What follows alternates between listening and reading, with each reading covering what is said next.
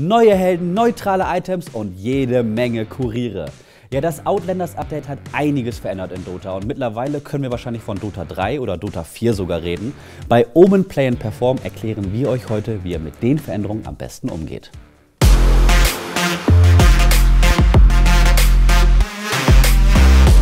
Kennt ihr das? Ihr streitet euch mitten im Match, wer den Kurier denn nun als erstes gerufen hat und wer sein Item bekommt? Ich hatte den Kurier zuerst. Nein, ich. Nein, ich. Ich benutze den Kurier, okay? Ich hol den Dragon. Schnauze, LOL, Spieler!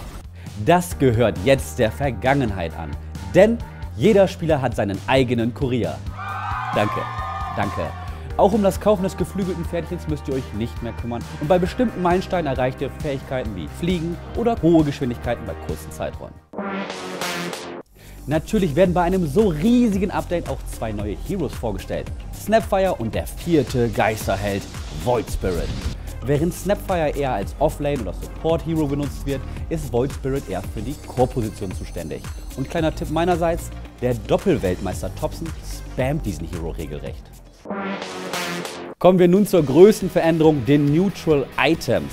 Das sind übrigens Gegenstände, die zufällig droppen, wenn ihr im Jungle Neutral Camps leert.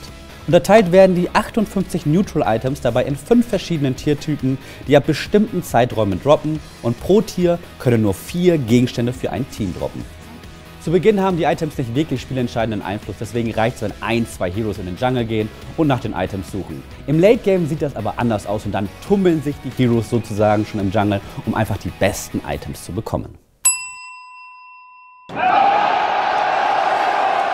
Immerhin Supports haben Grund zur Freude. Während sie früher kaum Geld hatten, weil sie Walls kaufen mussten oder den Kurier aufleveln mussten, sieht es jetzt anders aus. Jetzt können sie selbst Items haben, die spielentscheidend sind. Auch wenn es am Ende vielleicht nur das alte, abgelegte Item des Carries ist. Wichtig ist am Ende die Kommunikation auch hier, denn ihr müsst mit euren Teammates absprechen, wer am Ende welches Item bekommt. Die sind übrigens in dieser wunderschönen Truhe, das heißt Supports müssen gar nicht selbst durch den Jungle streifen.